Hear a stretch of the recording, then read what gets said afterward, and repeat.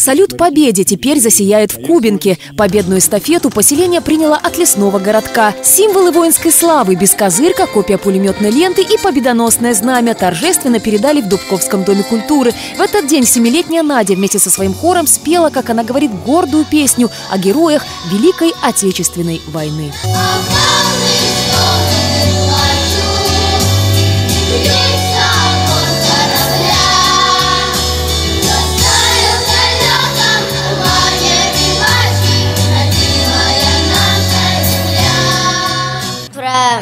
бой, про как наши ветераны сражались на войне и как они хорошо воевали, чтобы э, защитить, защи- защитить свою родину. Они все очень готовились, волновались, выступали, учили тексты песен, э, танцы.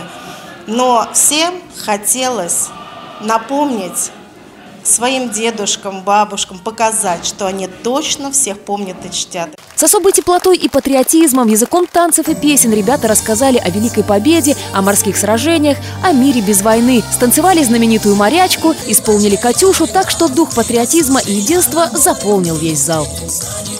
Сегодня юные моряки скрасили нам праздник.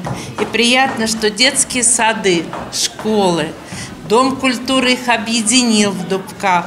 И они показали вот такую любовь к нашим победителям. И они на, запомнят это на всю жизнь, так или нет? Да. Если мы будем детей воспитывать в таком а, а, именно духе, дальше они дойдут до взрослых лет, это будут, конечно, граждане, это будут патриоты.